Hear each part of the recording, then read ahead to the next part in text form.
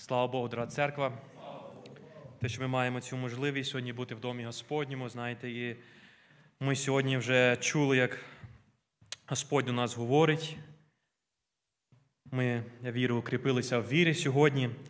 І знаєте, час іде швидко. Я хотів би разом ділитися Божим Словом, щоб ми пороздумали над ним, е, над нею темою, яку Бог положив на моє серце. Я зачитаю на початку місця з Біблії, це книга Як, послання Якова, перший розділ, другий по четвертий вірш, які такі слова.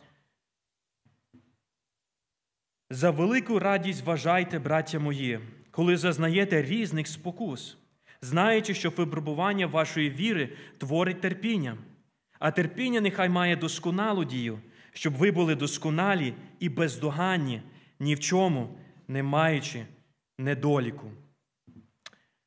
Знаєте, коли я читав це місце, Яків пише до розсіяних християн. Знаєте, це був час, коли вони переживали досить непрості обставини. Це був час гонінь, час, коли вони були розпорошені, час, коли сім'ї вони розділювались. І знаєте, і Яків пише, каже, люди, які в розсіяні, каже, радіти. І далі він говорить, каже, про ці випробування. В цьому перекладі каже, спокуси і випробування, але в оригіналі це слово воно одне і те ж саме. І знаєте, і він каже: радійте, коли ви переживаєте різні спокуси чи випробування, знаючи, що випробування вашої віри творить терпіння. І далі він продовжує і каже, це те, що це терпіння, воно робить те, щоб ви були досконалі, не маючи недоліку. Знаєте, випробування взагалі в нашому житті це момент, коли, ну, перше, випробовується наша віра. Коли ми проходимо, ми відчуваємо те, що ми проходимо через обставини в житті, і наша віра або вона буде зростати, або ми занепадаємо у вірі.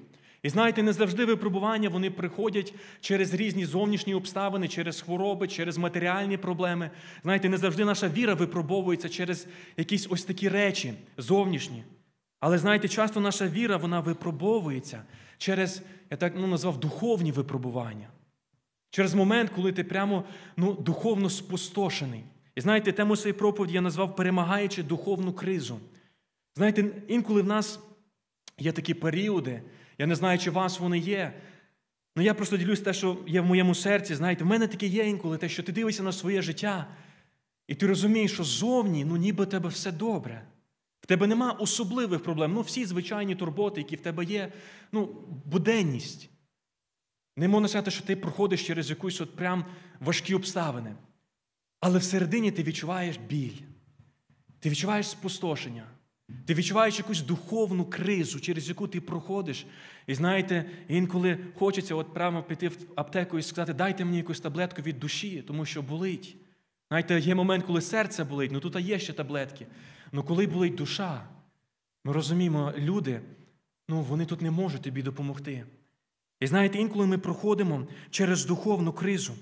І знаєте, і як і він каже, каже, радійте, коли вас є, каже, різні спокуси, коли у вас є випробування. Чому радіти? Тому що, каже, це є можливість, щоб ви були досконалі і бездоганні, ні в чому не маючи недоліка. Знаєте, інколи ми проходимо через різні важкі періоди в своєму житті по тій же причині, що Бог хоче зробити нас сильнішими, правда? Щоб ми не мали недоліку, щоб ми були сильніші в терпінні, щоб ми були досконалі. Але знаєте, коли ми проходимо через різні, я хотів би сьогодні так більш вужче говорити не про випробування, які ми проходимо часто через зовнішні якісь проблеми, але через духовну кризу, яку інколи ми проходимо. Знаєте, я сьогодні особливо, коли спілкуюся і з молодими людьми. І так, взагалі, я зрозумів те, що багато людей вони сьогодні проходять через духовний занепад. Інколи ти підходиш до людини, до брата, і кажеш, брат, може поділитися словом, і він каже, ну я зараз не можу, мені зараз важко. Інколи ти питаєшся в людини, хто чесний, ну хто нечесний, часто скаже, ну все добре, брат, слава Богу. Але хто більш чесний, скаже, ну знаєш, так важко зараз духовно, так важко молитися, так важко Бога шукати, так не хочеться ходити вже на зібрання. І знаєте, я зрозумів, я розумію і в себе аналізую те, що так багато сьогодні із нас ми проходимо через духовну кризу, через духовне спустошення, через цей занепад. Але знаєте, коли я думав навіть ну, про це слово таке більш сучасне слово, як криза, е, я подивився взагалі, що це слово означає. Ну, Взагалі, значення цього слова означає переломний момент. Переломний момент. Знаєте, коли ми говоримо про кризу, ну перше, що в нас асоціація, це от ну, в країні криза, певні матеріальні нестачі, певна нестабільність, певні проблеми. Але знаєте, інколи ця криза вона відбувається в нашому духовному житті, коли в нас, правда, немає стабільності, коли ми відчуваємо нестачу Бога, коли нам важко взагалі от, багато, ну, робити багато речей. Але знаєте, от коли я роздумав те, що криза це переломний момент, я для себе усвідомив те, що люба криза в житті вона проходить. Через любу кризу треба пройти. І знаєте, так само духовна криза інколи є, коли ти прямо ну, так важко відчуваєш Бога. Є такі моменти в нашому житті, правда? І цей період він пройде в нашому житті. Бог дав нам пройти інколи цей період, але питання, чи ми вийдемо з нього переможцями, чи наша віра вона укріпиться, це є переломний момент. Але, дорога церква, як хочеться, щоб коли ми проходимо через духовну кризу, це був переломний момент, коли ми зміцняємося у вірі, коли ми укріпляємося в Господі, коли ми виходимо із цього занепаду, і ми стаємо сильнішими, і наша віра вона зміцняється. І знаєте, я хотів би сьогодні поділитися от взагалі, ну чому інколи ми опиняємося в духовній кризі. Чому сьогодні християни вони знаходяться так часто в духовному занепаді? Знаєте, часто, коли нам важко духовно, в нас є дві причини. Перша, ми кажемо, ну, це диявол мене атакує, це він от мене спокушує, от це все його вина, знаєте, вся вся вина його. А друга друга причина, ми кажемо, ну я в пустині. Я зараз в пустині, от треба через це пройти, знаєте. Але я зрозумів те, що не завжди, не завжди треба все списувати на диявола або на пустиню. Інколи ми знаходимося в духовному занепаді по тій же причині, що ми робимо певні помилки в своєму житті. Я хотів би сьогодні трошки про це поговорити. Знаєте, перший момент, чому я можу знаходитися в духовному занепаді, це є через непослух. Через непослух Богові. Я не буду читати вже цей текст, але давайте згадаємо Саула, правда? В його житті він проходив через що? Ну, через духовну кризу. Він був момент, коли він каже, я молюся, Бог мені не відповідає. Він не бачить результати своїх молитов. Він каже, я не відчуваю вже Бога. Знаєте, і Бог дійсно віддалився від нього. І в його обставинах, в його житті, в його цьому моменті, знаєте, це не був момент, тому що його диявол так атакував, або тому, що Бог його повів в якусь пустиню. Це була проста причина. Ти проявив непослух. І в результаті того, що ти не послухався, те, що ти ігнорував, як Бог до тебе говорив, як Бог тебе направляв, як Бог хотів мати з тобою спілкування, як Бог тобі давав тобі певні укази, що ти маєш зробити в своєму житті. Знаєте, для Сула було певне покликання стати царем не просто так. Він мав зробити певні речі. Він мав знищити Амалика. Він мав зробити певні Божі укази, які він сказав. Ну, по тій причині, що він не виконував Боже покликання в своєму житті, він війшов у духовну кризу, у духовний занепад. Дорога церква, як часто ми проходимо через духовний занепад по тій причині, що ми не виконуємо Боже покликання в своєму житті. Ми, як Саул, да, ми я цар, я християнин. Я нібито хожу в церкву, але в Бога є покликання для тебе. Бог хоче використовувати тебе в певній сфері. І знаєте, часто Бог говорить до нас, Бог промовляє. Але знаєте, ми не чуємо. Ми заглушаємо цей голос життєвими турботами, своїми амбіціями, своїми бажаннями. І знаєте, і в тому по тій причині, що часто ми просто не є плідними. Ми не виконуємо Боже покликання в своєму житті, ми приходимо в духовний занепад. І тоді нам важко взагалі жити християнським життям. Знаєте, багато людей от кажуть, мені би до порога дойти. Там плоди вже, дари, оці всі плоди, воно вже мені не так важливо, просто війти в небо. Але знаєте, тут питання, чи війдеш ти в небо, якщо ти не будеш виконувати Боже покликання? Чи дійдеш ти, чи витримає, чи твоя віра, вона витримає, чи ти не прийдеш у духовний занепад в своєму житті? Тому, друзі, давайте ми не будемо жити такими мірилами. От мені просто достатньо вірити в Христа, просто достатньо війти на якийсь рівень, війти, бути спасеним, і цього достатньо. Якщо ти не будеш виконувати Боже покликання в своєму житті, якщо ти будеш проявляти непослух Божому Слову до тебе, це перша причина, чому ти можеш бути в духовному занепаді, в духовній кризі. І знаєте, я також зрозумів, часто це може бути і навіть не в покликанні, а щось такому незначному. Протягом дня. Ти відчуваєш, як Дух Святий говорить тобі, щось зробити, когось відвідати. Правда? Зробити якусь маленьку річ, зробити просто добро. Або інколи це може бути просто вечір провести в таємній кімнаті, пожертвувати якимось спілкуванням, пожертвувати, можливо, своїми друзями, те, що тобі подобається, а просто провести цей час з Богом. Знаєте, інколи Бог нас побуджує до цього. І знаєте, коли ми ігноруємо Божий голос, щось таке незначне, потім наступний день ти просинаєшся і тобі так важко на душі. Бог тобі сказав відвідати образно когось. Ти це не зробив, а потім ти відчуваєш, тобі так важко духовно. Чому? Через непослух. Ти проявляєш непослух Богові. І це перша причина, чому інколи ми попадаємо в таку духовну кризу, в духовний занепад. Знаєте, другий момент це відсутність живого спілкування з Духом Святим. 1 Коринтянам 6,17 є таке місце, каже, а хто з Господом з'єднується, стає з ним одним духом. Хто з Господом з'єднується, стає з ним одним духом. Знаєте, я думаю, ми всі розуміємо, правда, те, що людина, кожна людина, вона має ну, таку складову в собі, як дух. І знаєте, от коли людина ще не цер... ну, коли людина ще не християнин, вона також має дух, але її дух, знаєте, він мертвий для спілкування з Богом, він нібито у такому режимі сплячки. Але коли людина кається, її дух відроджується. І що прагне дух в момент покаяння? І далі. Він прагне з'єднуватися з Духом Святим. Це і найбільше прагнення нашого духа, дорога церква. Знаєте, і коли тобі хочеться молитися, коли ти відчуваєш пориви, пориви, пізнавати Бога, знаєте, не завжди в нас так є. Ну інколи ти сам не розумієш, чому на твоїх очах появляються сльози. Інколи таке буває. Ти не розумієш, чому так твоя душа вона просто сокрушається. Чому? Тому що твій дух він так прагне спілкування з Духом Святим. І він закликає так часто наше тіло, нашу душу. Саша, тобі потрібно. Я хочу спілкування з Духом Святим. І знаєте, інколи, коли ми не реагуємо на це, коли ми це пропускаємо, наш дух стає, знаєте, у такому занедбаному стані. Як тільки дух наш не спілкується з Духом Святим. І знаєте, ми також попадаємо в духовний занепад. Знаєте, ми маємо сьогодні Духа Святого, який хоче нас відживляти, який хоче з'єднуватися з нашим Духом сьогодні. Але питання, чи ми робимо це в нашому житті? Знаєте, я пам'ятаю, коли ми один раз були в одному місці за кордоном, і ми образно так з хлопцем ну, хотіли поїхати на гарячі істочники, і коли ми туди приїхали в поле, просто так хотілося цієї гарячої води. Це була зима, я пам'ятаю. І знаєте, коли ми прийшли, я подивлюсь на це озеро, там, де ми мали бути, але воно все зелене, листя. І я пробую цю воду, воно таке холодне, прям ну, чуть-чуть теплувати. І знаєте, я не розумію, ну, в чому причина, але коли я трошки почав йти, я побачив такий канал, я побачив таку загорожу, де прямо із землі бурлить кип'яток. Така вода, знаєте, там прям ну, не можна навіть приходити метр до неї, тому що пара дуже велика. Я от коли почав дивитися на це все і зрозумів, що тут проблема, те, що цей канал, його давно ніхто не чистив. Там куча мусору.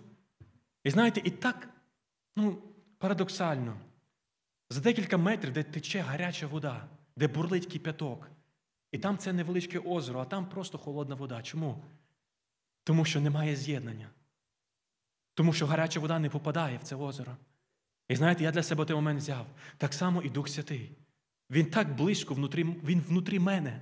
Він бурлить цією живою водою. Він готовий запалювати мене, але інколи ми духовно такі слабі. Нам так важко. Ми опиняємося в духовному занепаді по тій причині, що просто цей канал, він, там немає контакту. Він просто за, за, там багато мусору. І знаєте, це є проблема. Тому, дорога церква, друга причина, інколи через відсутність спілкування з Духом Святим, ми маємо великий потенціал жити переможним життям, коли ми спілкуємося з Духом Святим. Третій момент.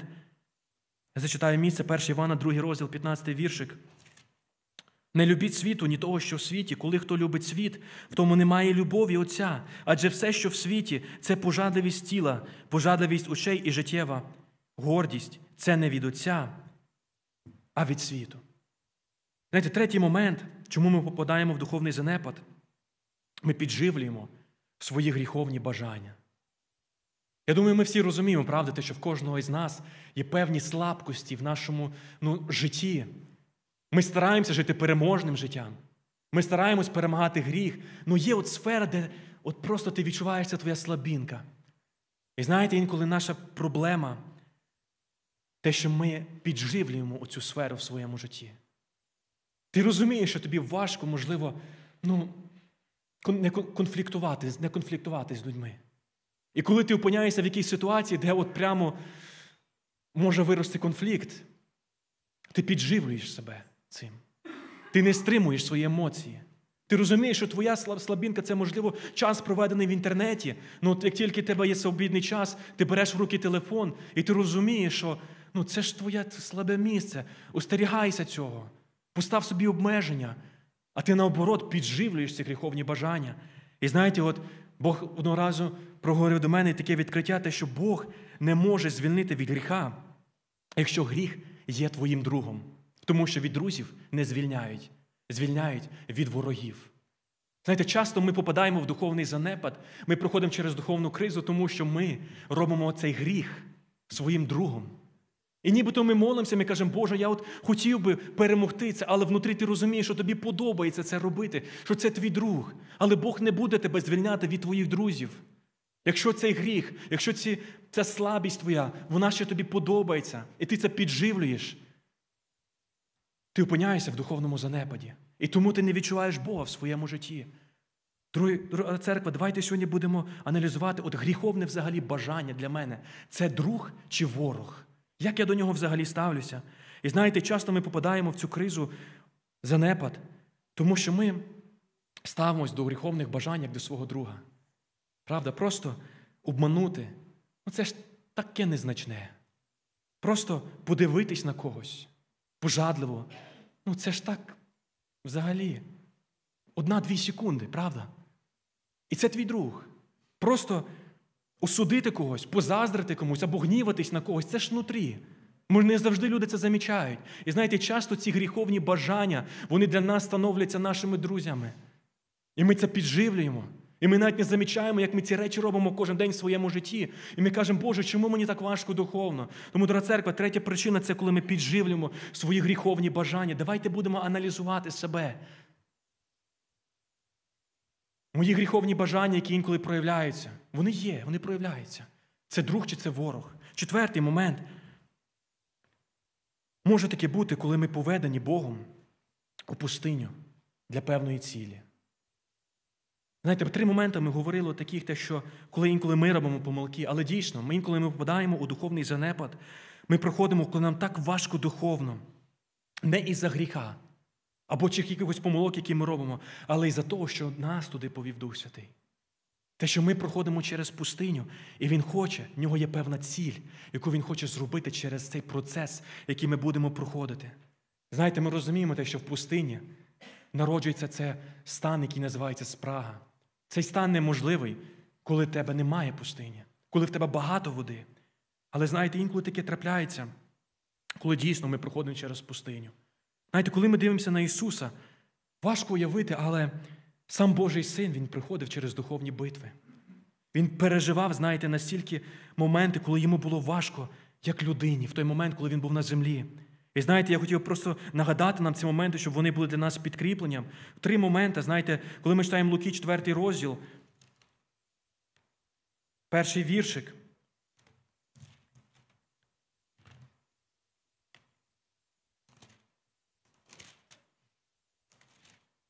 Ісус же, сповнений Духом Святим, повернувся з Йордану і був поведений Духом в пустелю, де сорок днів був спокушуваний дияволом і не їв нічого в ті дні, аж поки вони не скінчились. Наприкінці він дуже зголоднів і сказав йому диявол: якщо ти син Божий, то звели цьому каменю, щоб він зробився хлібом. Знаєте, написано на початку Ісус сповнений Духом Святим. Коли він був поведений? В пустиню. Ким? Духом. Він був поведений в пустиню духом. І знаєте, саме в пустині, де Ісус проводив важку битву 40 днів без їжі, Він був втомлений. Але ми всі знаємо, як він виграв цю битву, правда? Він перемагав Божим Словом. І знаєте, для нас сьогодні це великий приклад. Коли ти проходиш через духовні битви, коли тобі як ніколи важко, використовуй Боже Слово, використовуй Божі обітниці, які Він дав тобі. І знаєте, я от почув таку фразу, знаєте, те, що інколи нам потрібно, інколи Бог до нас говорить при світлі, то нам потрібно це пам'ятати, коли ми є в темряві. Те, що Бог сказав тобі при світлі, використовуй це, коли ти в темряві. Коли ти проходиш через пустиню в своєму житті, але тримайся на Божій обітниці, те, що ти є дитина Божа, те, що Він до тебе говорить, використовуй Його Слово, тому що Це є метод, як ти можеш пройти через ці духовні битви в своєму житті. Ми пам'ятаємо другий момент, коли Ісус був в Гефсиманському саду, правда? І коли Він там проходив велику битву, коли його тіло воно страждало. Написано те, що Він каже, смертельним смутком охоплена душа моя. Знаєте, це була битва духовна, яку проходив, проводив Ісус. Смертельним смутком охоплена душа моя. Але Він тут перемагав молитвою. Коли в першому місці він перемагав Словом, тут Ісус молиться. Він каже, Отче, нехай виповниться воля Твоя. І третій момент написано, коли Ісуса було розп'яття Христа, і Матвія 27, 46, а о 9 годині Ісус скрикнув гучним голосом, кажучи, Елі, Елі, лема самвахтані, тобто, Боже мій, Боже мій, чому ти покинув мене? І третя битва, яку Ісус також проходив, це коли Він вже був на Христі.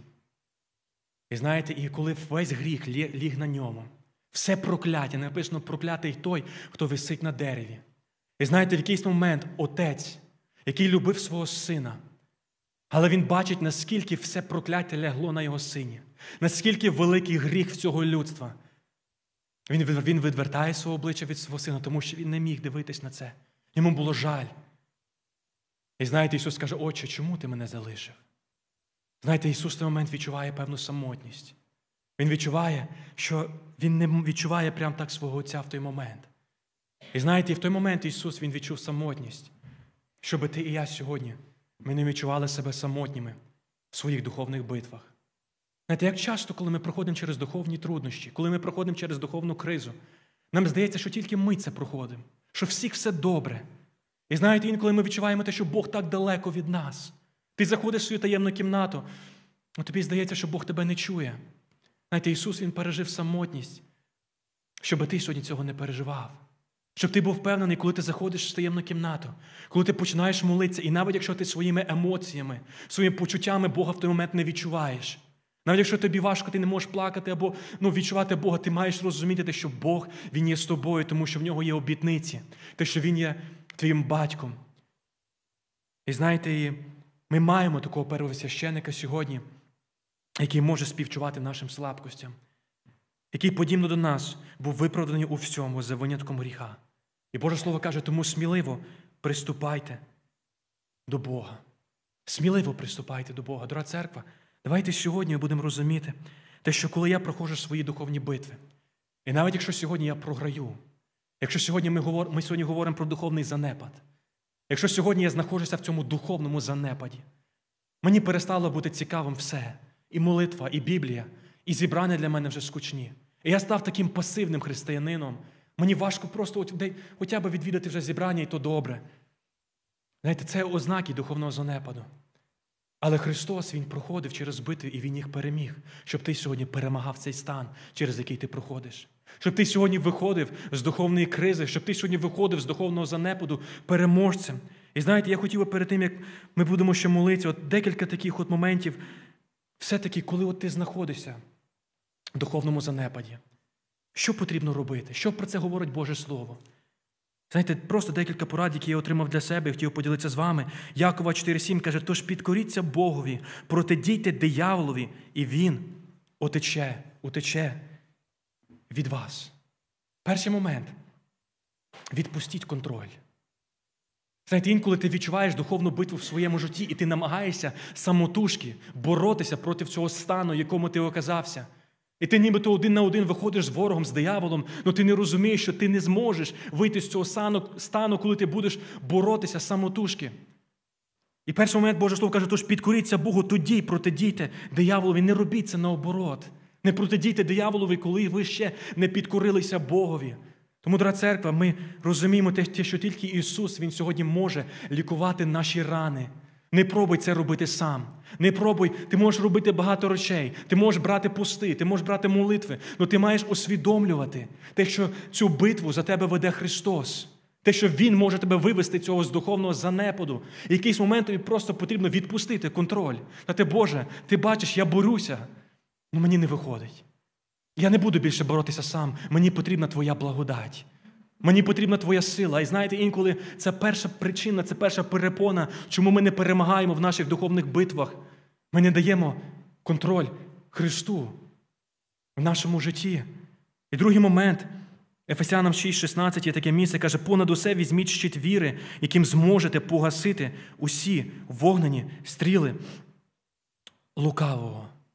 Другий момент, ми перемагаємо у наших битвах вірою.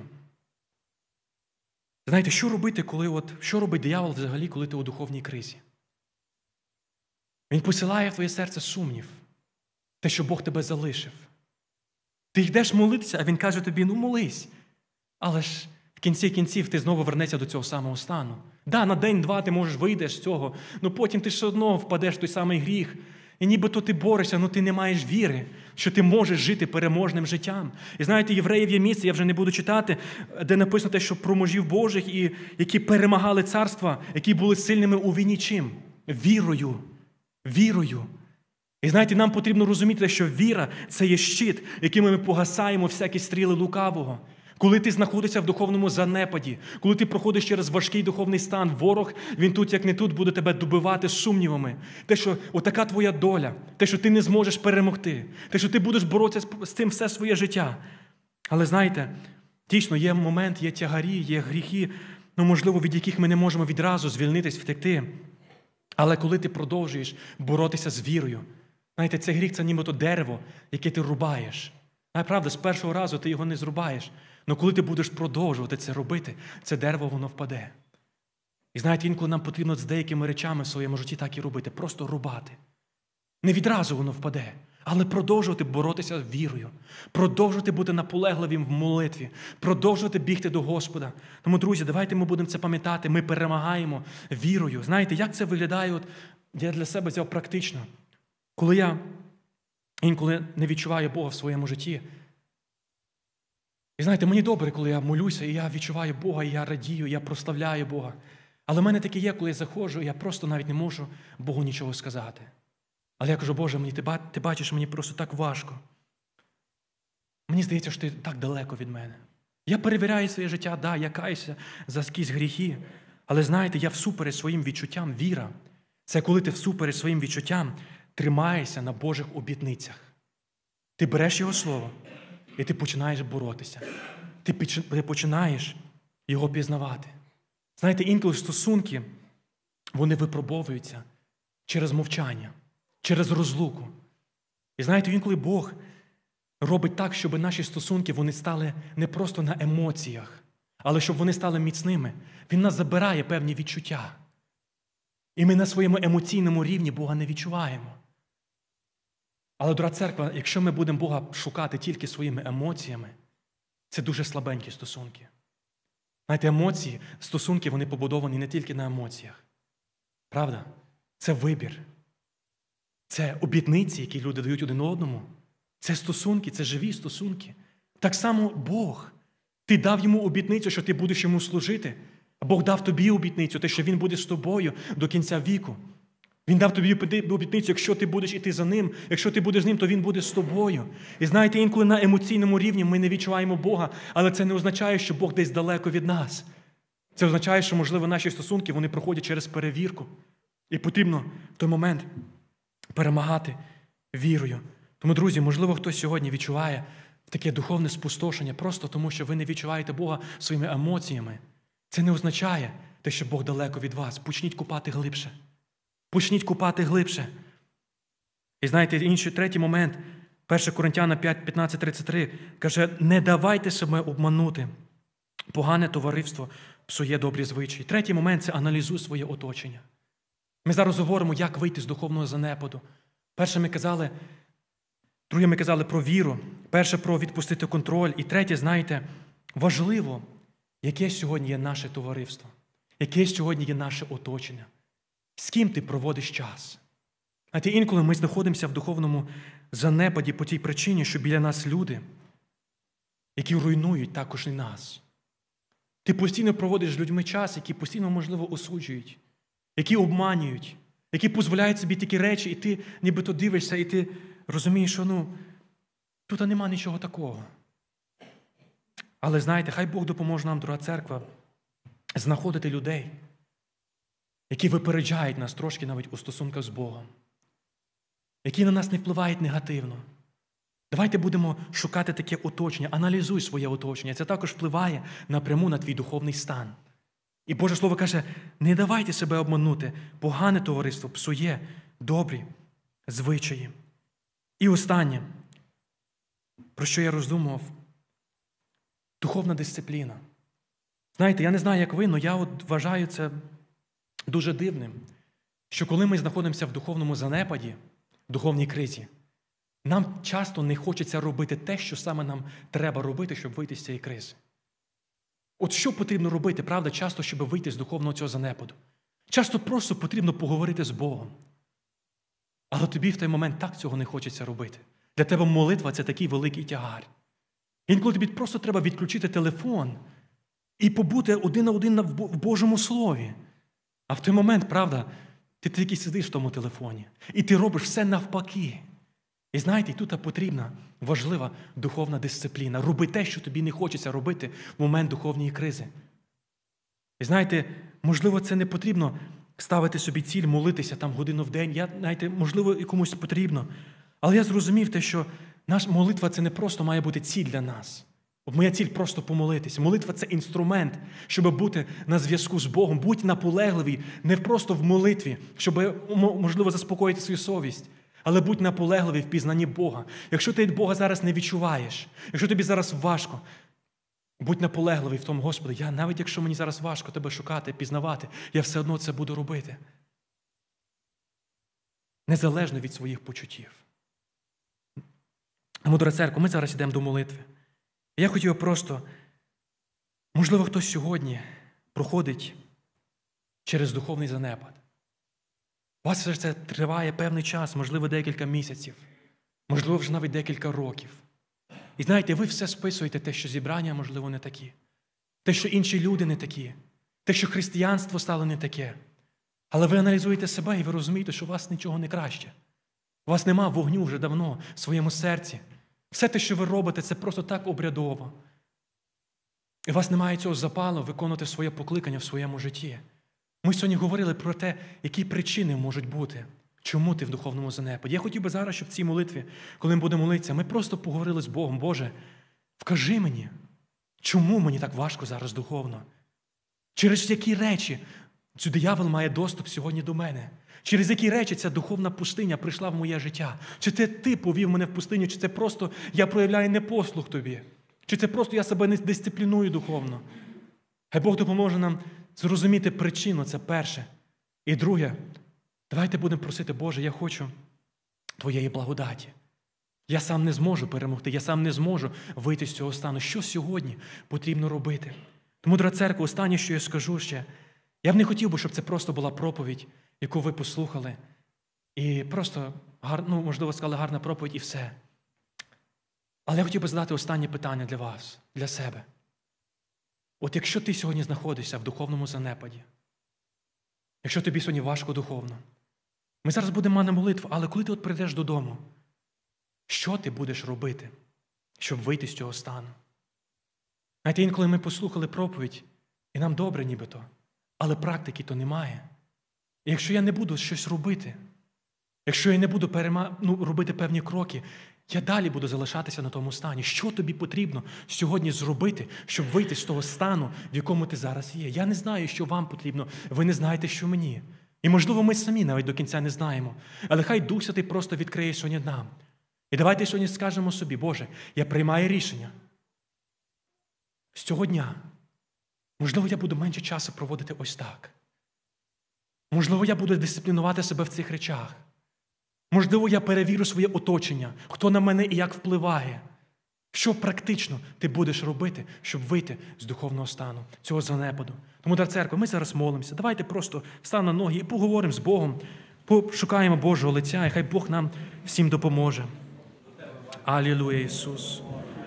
Ми дякуємо Тобі, Господи.